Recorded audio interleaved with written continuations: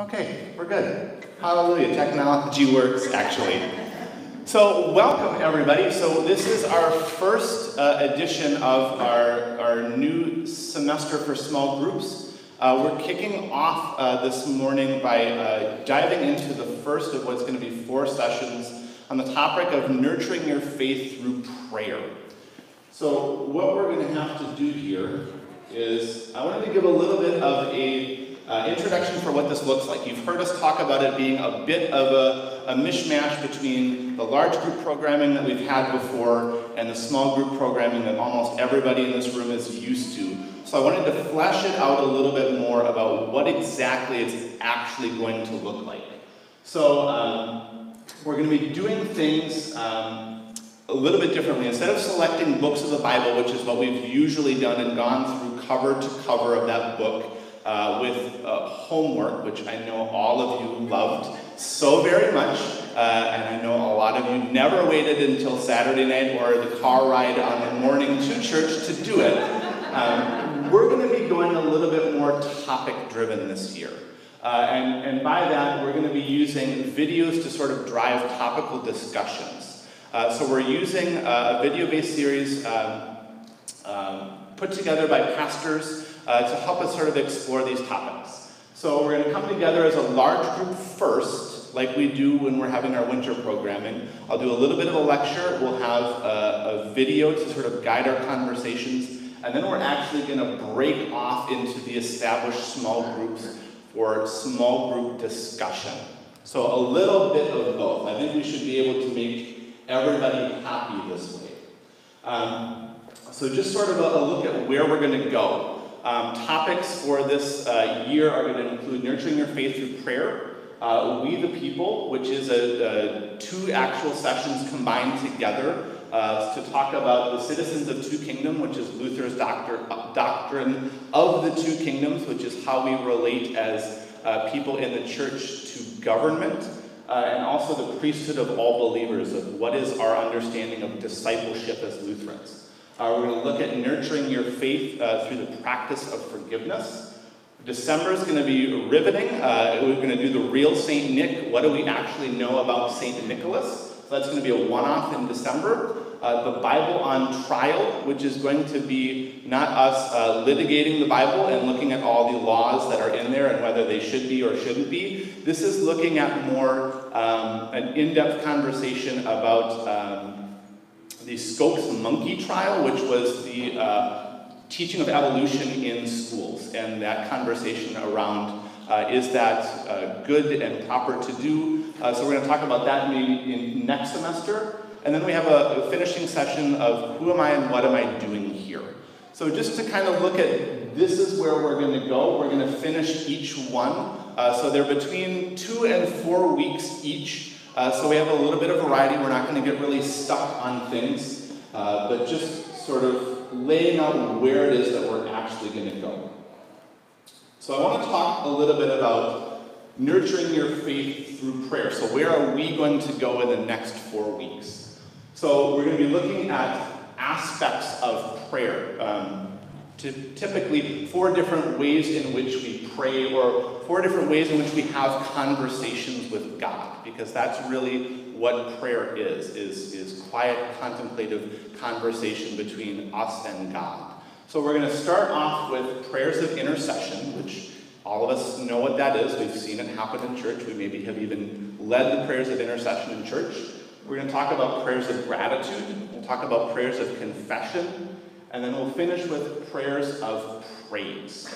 So four different types, there's, there's multiple different types of prayer. Uh, we had a communion hymn today, which was a Taizé style prayer. Um, in our second communion hymn, which is a repetitive prayer sung over and over and over. Um, that's not something we're going to talk about, but these are just four. Uh, there are multiple other ways to pray that, will, that you can engage in in your own time.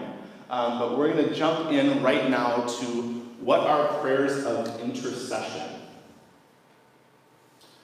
So, intercession or intercessory prayer is the act of praying to a deity, saints, or deceased persons on behalf of oneself or, or someone else. Uh, and really, the practice of intercession has developed over time. So, when this first started, and, and we'll sort of track how it's developed, uh, the practice of interceding for the deceased is actually very, very, very old. It actually goes back to ancient Judaism and maybe even further than that in terms of uh, where that practice starts. Almost every ancient culture has some form of intercessory prayer built into their burial rite.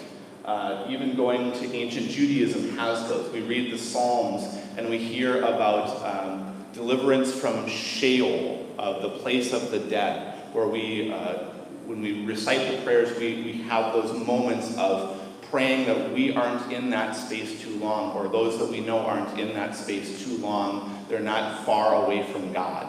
So that's really sort of where intercessory prayer starts, is praying for the deceased. Um, for those who are coming out of the Catholic tradition, you can understand a little bit of where the notion of um, purgatory comes from, or praying for purgatory. Uh, believers are called to pray for their loved ones, uh, offer sacrifices, etc. You can offer uh, a mass for a loved one who's deceased to kind of going back more towards medieval time, lessen their stay in purgatory. Uh, so we come out of intercession as a way to um, stay connected with our deceased loved ones, uh, to pray on their behalf to make sure that they are standing in God's presence. So that's just one part. Other parts, um, over time, it becomes not so much focused on the deceased, but really on the living. So we're kind of dancing a little bit between, you know, the here and now and the hereafter. So in terms of Christianity and intercessory prayer, the really great proponent of prayer is St. Paul. Les Butler, this is kind of your gig. So Paul writes to us in 1 Timothy uh, I urge then, first of all, that petitions, prayers, intercessions, and thanksgiving be made for all people, for kings and all those in authority, that they may live peaceful and quiet lives in all godliness and holiness. So Paul is writing that to Timothy, who's a, a sojourner on the ministry that Paul undertakes, and is really urging that prayer is something we should do not just for ourselves, but for everyone that we know, and that prayer does something that we may live in peaceful and quiet lives in all godliness and all holiness. So for Paul, intercessory prayer is one of those fundamental aspects of faith. And as such, it shows up almost continually in his letters. Uh, almost every authentic letter of Paul, a letter that Paul himself writes, includes a reference that Paul is either praying for the community that he's writing to or asks them to pray for him. Or Paul is very open and honest about that. The struggle is real in ministry. Um, Paul has hardships he has to overcome, he has ailments he has to overcome, persecution, you name it. Paul really invites prayerful uh, reciprocity, maybe. I pray for you, you pray for me, and that keeps us together as community. Where Paul isn't able to sort of stay with these groups for, for very long times. Paul sort of plants churches, gets them started, moves on to the next thing. But for Paul, prayer is the thing that keeps them connected together. It keeps them in the forefront of their minds. So for Paul also, this practice is an invitation for God to be among them, deepening the bond of community and the bond between God and believer. So it's not, it's not just community of, you know, thinking, you know, absence makes the heart grow fonder. It's not just that in terms of what intercessory prayer does, but it brings God into the conversation too. It invites God to be present, to be active, to be amongst God's people, even though they may be in different spaces. So later, with the writing of the gospel, so Paul actually writes first in, in a lot of cases, the gospels come a couple years after Paul's writing. Christ's commands to pray adds some extra weight to the practice of intercessory prayer. So we read in Matthew chapter 5, which is the big Sermon on the Mount, the, the, the crux of Matthew's gospel, so to speak, of what it's all about Jesus says, You've heard that it was said, Love your neighbor and hate your enemy. But I tell you, love your enemies and pray for those who persecute you, that you may be children of your Father in heaven. Now, that's hard. So we're, we're, we're adding things to the notion of what intercessory prayer is. It's moved from praying for the loved ones who are no longer with us, it's praying for those who are in our midst in the community that we're in, and now we're being called to pray for those that we don't agree with, that we don't like, that we may struggle very, very mightily to love. This notion of intercessory prayer is getting deeper and deeper and deeper. And really, Jesus commands for us to pray for one another. It's not just people we like, it's people we struggle with, but prayer does something to us when we go into that space. We talk about uh, a lot in Lutheranism of God's word does something, or, or Jesus or God does the word to us. So that's really what, what we're talking about as Lutherans when that happens, of being called to to pray for those that we struggle to like or we maybe don't agree with. God's working on us in that time where we're praying, we're invoking God to be with us, to maybe work a little bit on patience or understanding or, or those hurdles that get in our way of us loving our neighbor as ourselves. Um, so, unfortunately, uh, where did we go wrong with this? As, as things, you can always have a bit of an extreme um, you know, prayer all the time. Uh, you could just sit in your room and just pray all day long and not interact with the people who are around you. Um, like all things in life, things in moderation are okay. But with prayer, there are some things that have happened. And particularly for Lutherans, this is one of the things that leads to really the Reformation.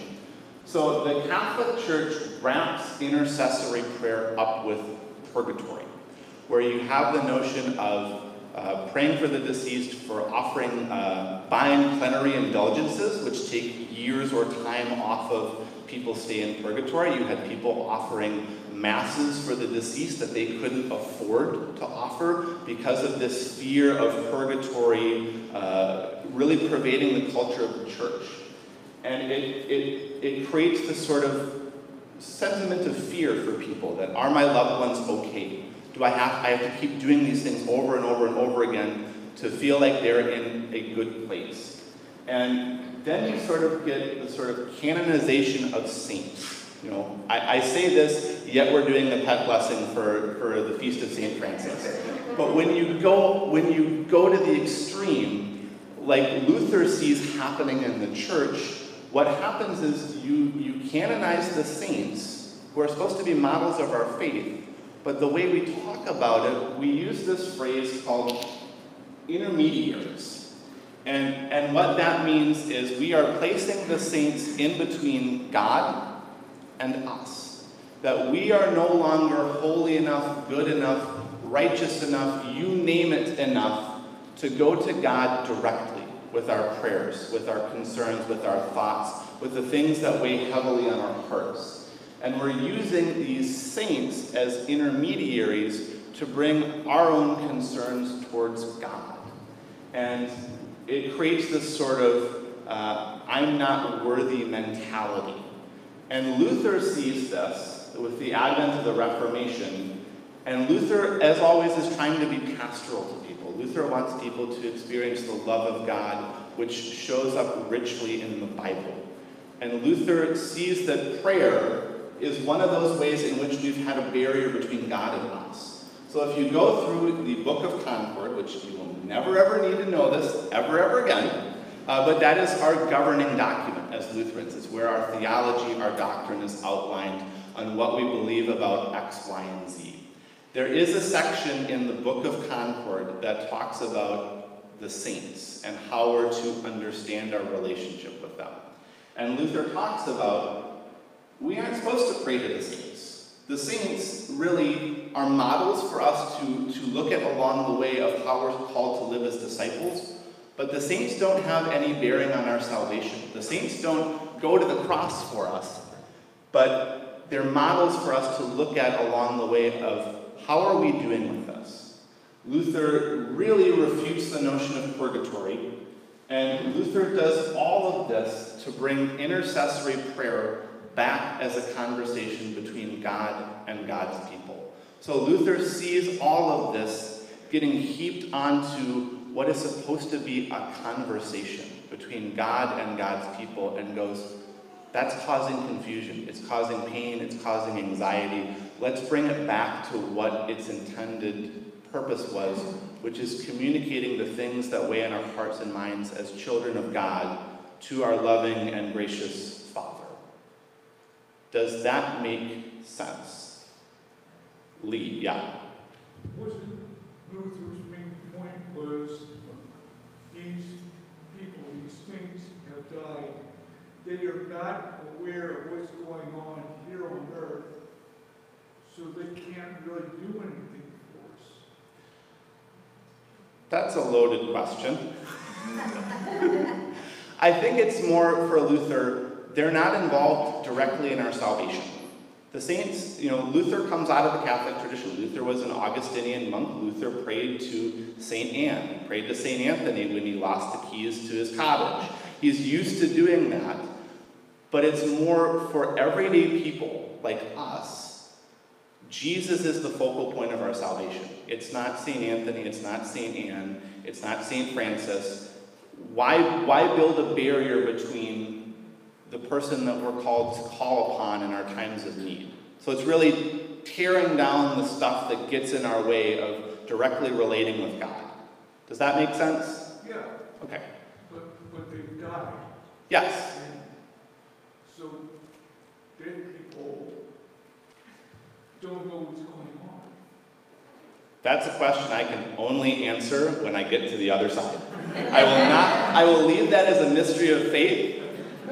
I, I just don't even want to touch that. I really, I really don't, because I don't want the liturgical police to come yell at me.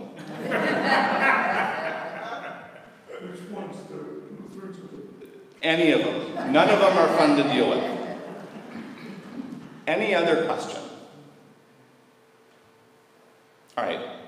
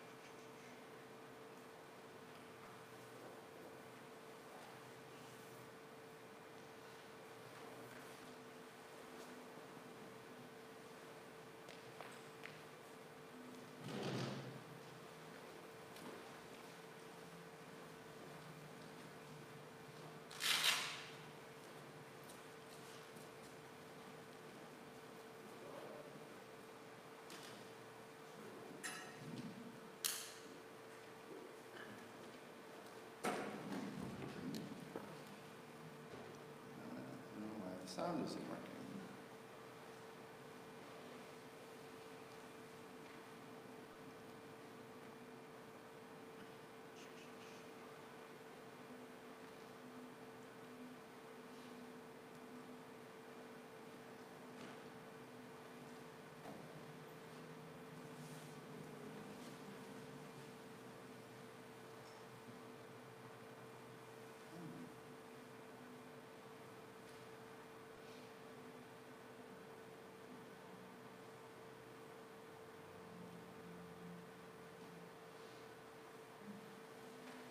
technology. My name is Don Roberts, and I'm the host of Nurturing Your Faith. And on behalf of the whole team here at Lutheran Hour Ministries,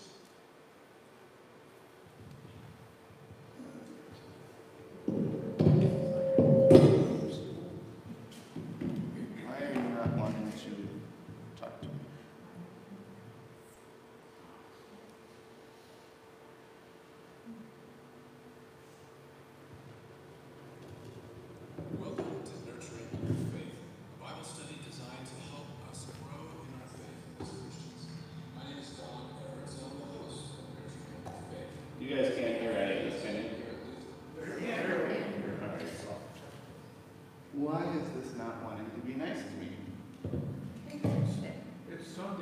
it's their off day.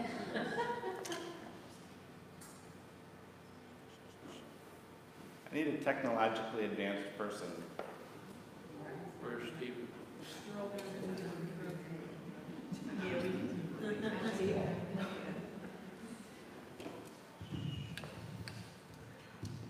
Because you reached this, I saw you saw it in the sound bar. I can try. Fifty percent. Yeah. Let's just crank it all the way down. Yeah. Yeah, there.